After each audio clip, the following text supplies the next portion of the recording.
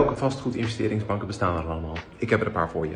RNB, Domivest, NIBC, Casarion, de Nederlandse, Nester en nog veel meer.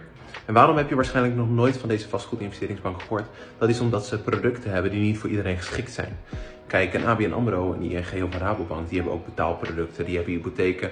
Dus die ken je ongetwijfeld. Maar dit zijn vastgoedbanken en die specialiseren zich in de verkoop van verhuurhypotheken. En aangezien niet heel Nederland in vastgoed investeert, maar wel elke Nederlander een betaalrekening heeft, kennen de meeste mensen deze vastgoedbanken niet.